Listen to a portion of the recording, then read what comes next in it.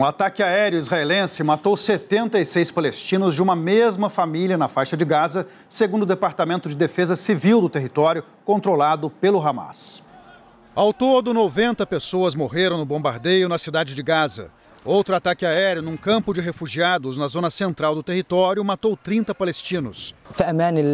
Havia dezenas de crianças aqui, tudo foi destruído, virou uma pilha de escombros, disse o parente de uma das vítimas. Neste sábado, a segunda maior cidade da faixa de Gaza estava totalmente deserta. Restaram destruição e corpos espalhados pelas ruas de Khan Yunis.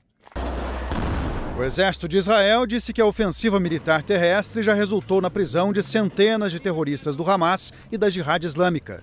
Cerca de 700 pessoas ligadas aos dois grupos foram transferidas para penitenciárias israelenses. As forças de defesa do país usam até cães treinados para explorar a rede de túneis construída pelo Hamas em Gaza à procura dos mais de 100 reféns que continuam sob domínio dos terroristas. Em Tel Aviv, houve mais protesto contra a atuação do governo israelense no conflito. Muitos manifestantes pediram a renúncia do premier Benjamin Netanyahu, que neste sábado conversou com o presidente dos Estados Unidos. Segundo a agência Reuters, ele agradeceu Joe Biden pela atuação da diplomacia americana na ONU. O maior aliado de Israel vetou sucessivas tentativas de cessar fogo em Gaza.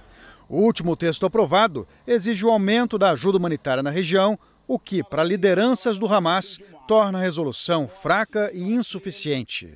A sua fonte segura de informação cada vez mais perto de você. Baixe agora o aplicativo do SBT News. Selecione o que é mais importante e receba notícias personalizadas.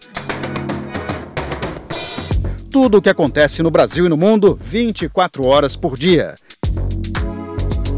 A informação em tempo real na palma da sua mão.